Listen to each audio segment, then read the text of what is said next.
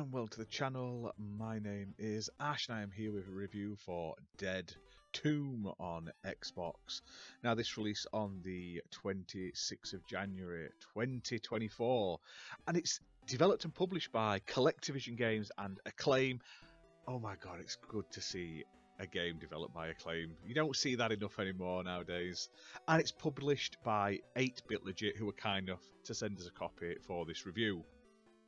Now, this game is awesome. I really like this one. It's a modern retro game basically. So it's it's designed to look and feel like those good old-fashioned point and click adventure games used to play back in the day.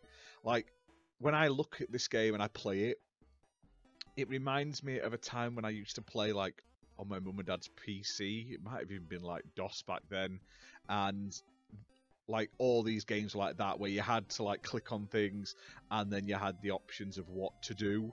Like do i want to look at things? Do i want to throw something? Do i want to use something?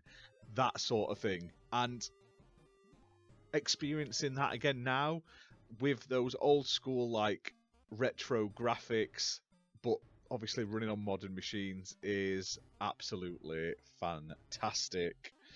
Now this game has obviously been made by uh, CollectorVision Acclaim. It's available on console, Xbox, you got it on Switch, and I believe it's also coming to the actual NES, which is amazing. Like it's got 8-bit graphics and it can run.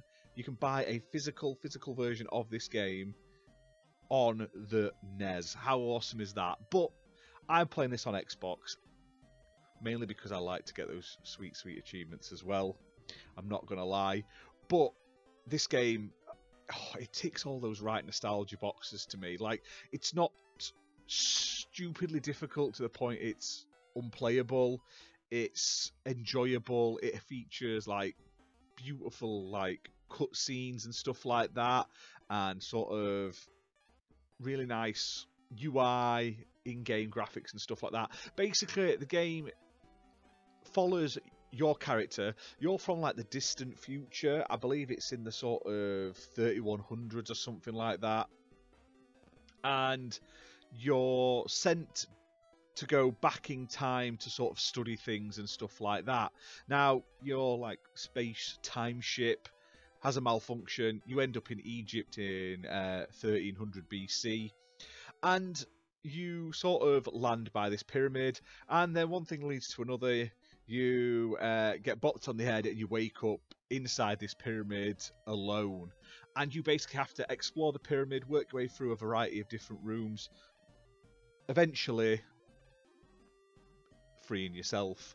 Now, the game isn't massively long in length.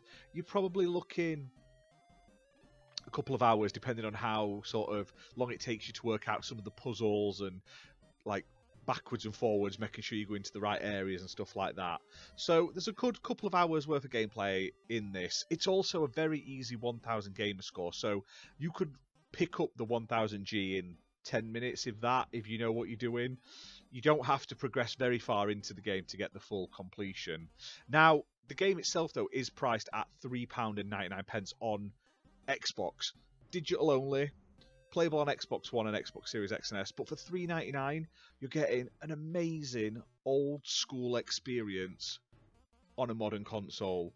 Like, I wish there was a time I could go back to and play games like this again. Like, they were my childhood. I remember playing loads of them because back then my computer, like what we had for a family computer, couldn't run like Doom or anything like that. Even though Doom nowadays runs on like a watch.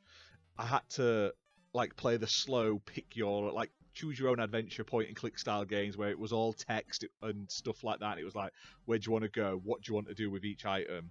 And that's what this game feels like. It's it's a love letter to that genre of games. Now apparently this is based on a game that was called Temporal Ink.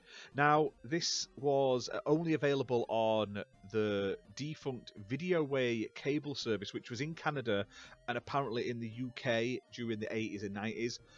I couldn't verify that. I've not ever had the chance to use that, but they never like backed them up back in the day. So this has been like built to be very similar to that, but it's its own little thing. And I think they've done a good job. I did have a quick look online and saw a video of the like original game, and I think they've done a, a spot on job of like homaging that with this game. So 8-Bit Legit have published yet another retro inspired banger on Switch, Xbox, and the fact that it's actually physical on NES consoles is amazing. I love it when we're getting these NES re-releases. Absolutely fantastic.